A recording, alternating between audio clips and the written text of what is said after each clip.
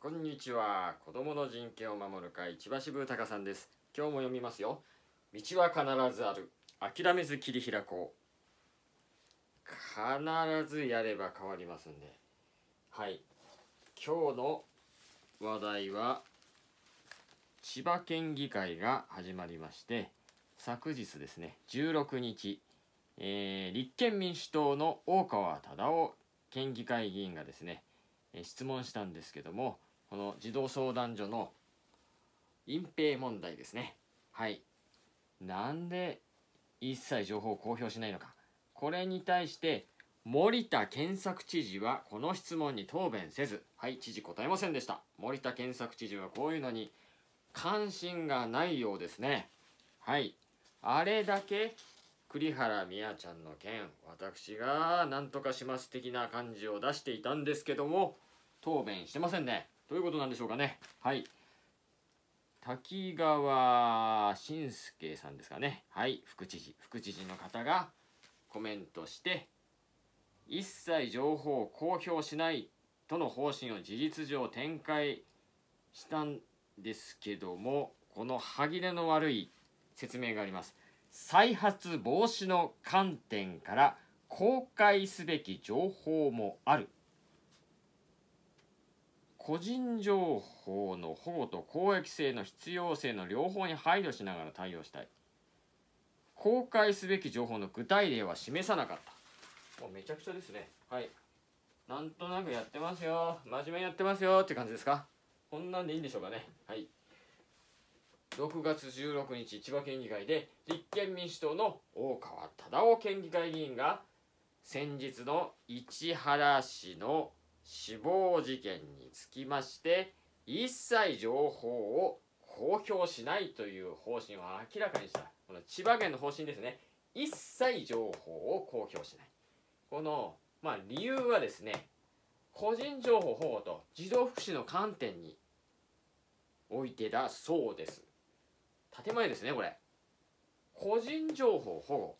その個人情報個人を特定するような特定できるような情報を要はみだりに人に話したり教えてはならないというですねそういう観点なんです。それをですね虐待死事件に当てはめてこの個人死亡した方当然子供虐待死だと子供死亡した子供その関係者保護者親族保護者はま容疑者ですね。日本の場合殺人犯の、ま容疑者の名前報道しますよね。ワイドショーでその背景面白おかしく報道しますよね。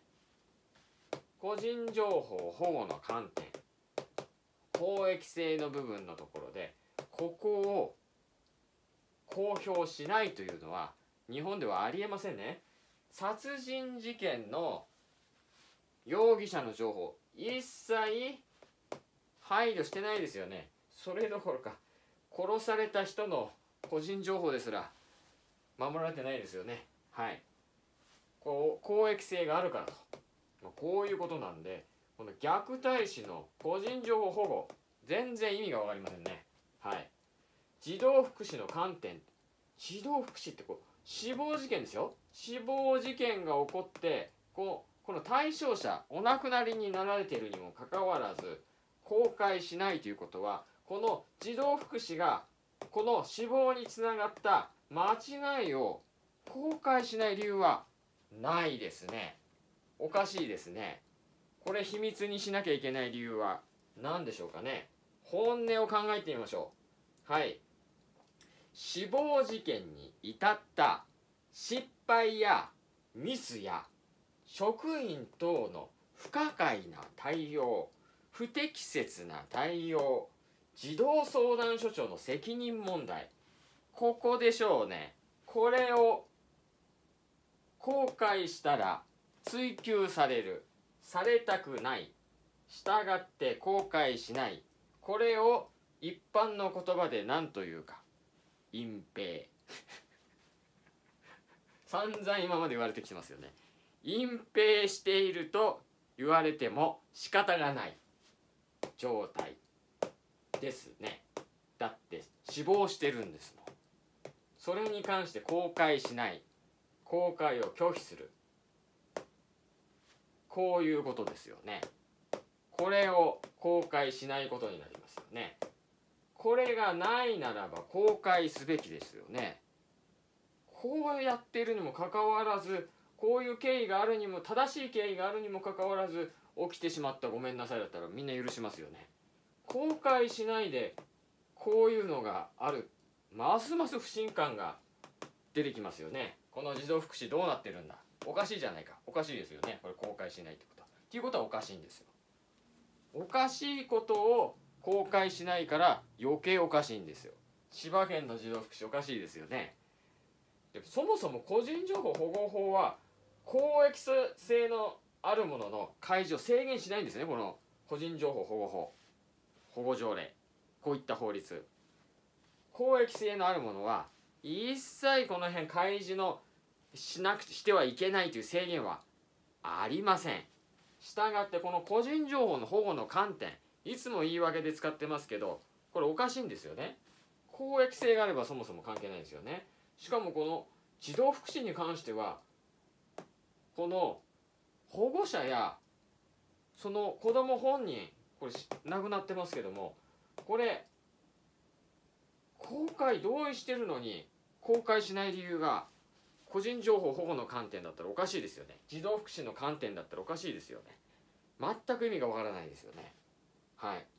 でまたあのー、我々一条から帰ってきた子どもたちの証言等も集めてますけどもおかしな発言が非常に多いです。言われた児童相談の職員心理師さん等に言われた言葉それが非常に問題のある発言が多いですね。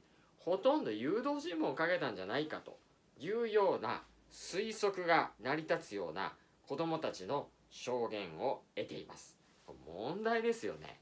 これ児童福祉として正しいんでしょうかね？公開しない理由。公開しない理由。公開しないということは隠蔽を疑われてもしょうがないんですよね。なんで公開しないんですか？おかしいですよね。個人特に死亡事件に関してはその対象者死亡さらにその保護者容疑者公開しない理由ないですよね。むしろこういった事件を改善していくために児童福祉の観点から公表すべきだと。逆ですよね。なぜ逆を？逆を無理やりこじつけるんでしょうかね。これ法律のねじ曲げ解釈と言ってもいいんじゃないでしょうか。はい。これ拒否する理由存在しないですよね。であればこれ刑法193条に該当すると言ってもいいんじゃないでしょうかね。刑法193条は公務員がその職権を乱用し人に義務のないこと。義務のないことこれ。義務のないこと。つまりこれえっ、と公益性が公益性とかこういう個人情報保護とか児童福祉の観点から情報を開示できません。開示開示してくしてくださいとお願いしてるのに引き下がる義務なんかないですよね。それを行わせたり。はい。あるいは権利の行使を妨害したこと。これを開示する請求する権利。公益性のある情報を得る権利。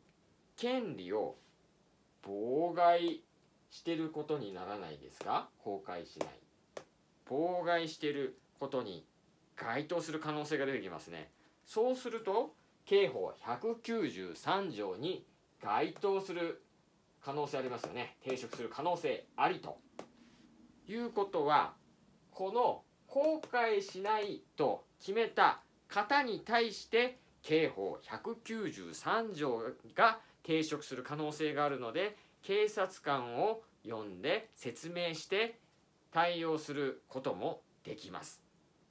ですのでこういった公表しないという職員に対してきっちりあの説明していただいて個人情報保護の法律にも抵触しない児童福祉の観点からも公開した方が明らかに問題解決につながるということは公務員が職権でそういったことを邪魔してる。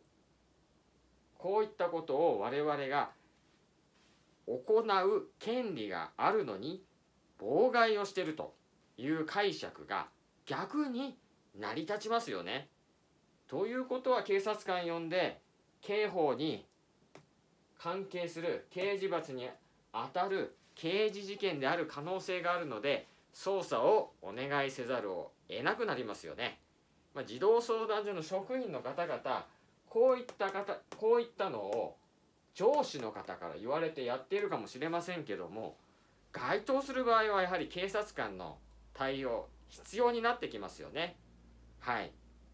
あの職員の方々いくら上司から公表しないと言われていても刑法193条に該当してあなた自身が刑事罰を受ける可能性があるという点だけしっかり頭に入れておいてください。上司がどうしようもない方だと自分が罪をかぶる可能性が出てくるんです。しっかりと考えて行動してください。刑事罰に公務員が刑事罰に当たる行為をすることがどういうことかこれをしっかり頭に入れて対応してください。いくらこういった内容を任意を装ったご理解ください。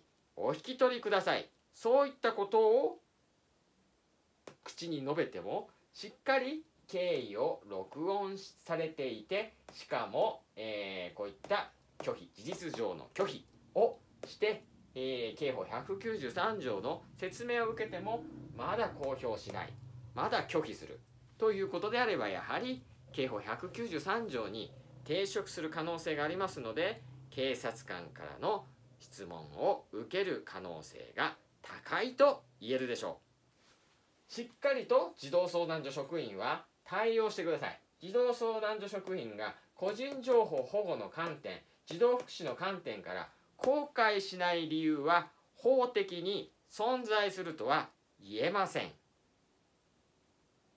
保護保護するので保護するのであれば保護の対象者さらに児童福祉の観点は隠蔽することが改善につながるのか。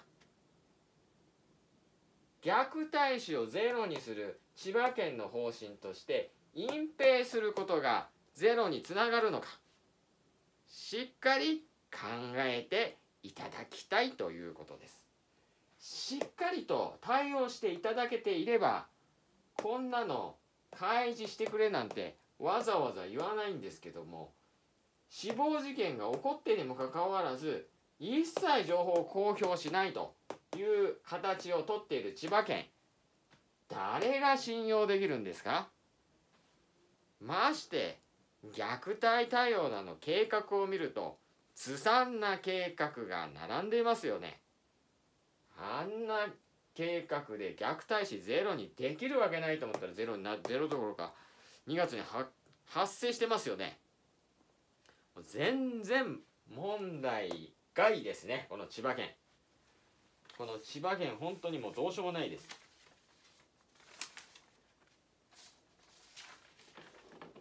まあの虐待の定義はこの児童虐待の防止等に関する法律。この第2条に定義されていまして1234ありますので今回の市原市の衰弱死はここですね。3児童の心身の正常な発達を妨げるような著しい減職または長時間の放置保護者以外の同居人による全2号または次号に掲げる行為と同様の行為の放置その他の保護者としての看護を著しく怠ることなんですこれをですね虐待の定義。相変わらずですね児童相談所は拡大解釈しているケースを非常によく見ています。通常ネグレクト当たり前の例としてこの虐待死につながる例として出てくるのは心身の正常な発達を妨げるような著しい減食ここですよね。ご飯を食べられなくて衰弱している。ここがメインのはずのネグレクトを長時間の放置をこの曖昧な長時間というところを拡大解釈していくらでも解釈できますよね。長時間。長時間。この長時間ってじゃあ具体的に何分以上ですか？何時間以上ですか？わからないですよね。これを児童福祉の観点個人情報保護の観点から公開してなければこんなのいくらでもでっち上げられますよね。3時間買い物に行くので近所のおじさんおばさんのところで預かって遊ばせていた。長時間の放置に当たるかもしれない。同様の保護者としての看護を著しく怠っているかもしれない。この著しく怠るの定義もですね児童相談所かなり曖昧な定義でこの基準を一般に公表しないですよね。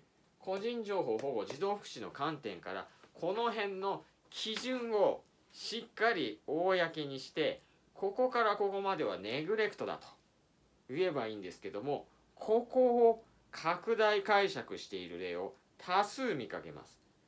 何でもない案件をネグレクトだと。言っているケースが非常に多いんです。この長時間の放置をですね特にですね拡大解釈して迷子になるケースってありますよね。子供活発な子供。ちょっと多動気味で、えー、手のつけられないような子供。そういったこう迷子になる可能性ありますよね。迷子をですねこの長時間の放置に当たるとネグレクトと報告します。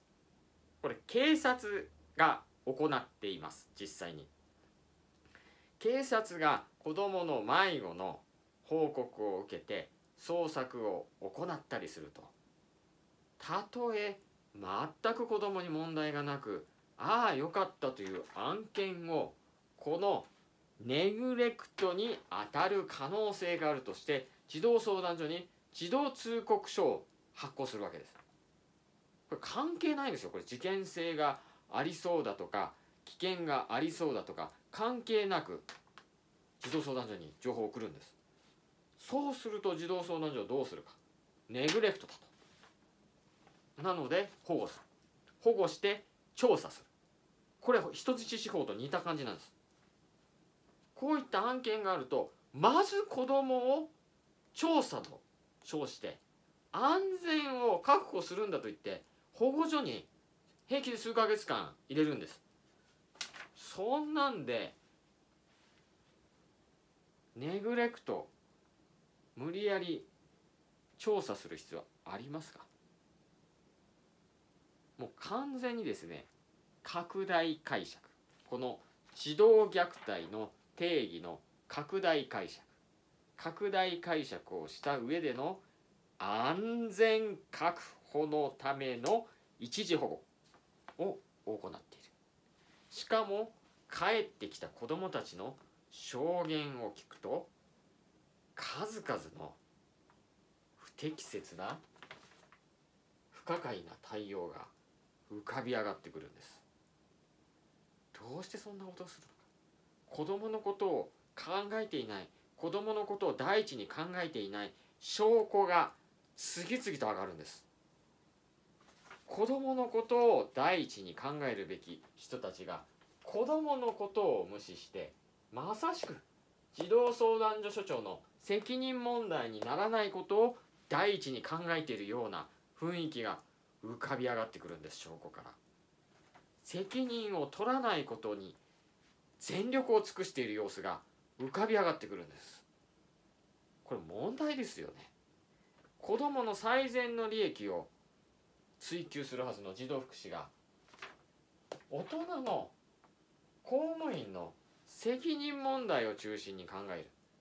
いやこの間私も子どものためになる手紙案提案を千葉県に出したらそういったことは対応していません。子供の最善の利益を考えて行っています。嘘です。私がもっといい案を出しているにもかかわらず対応していません。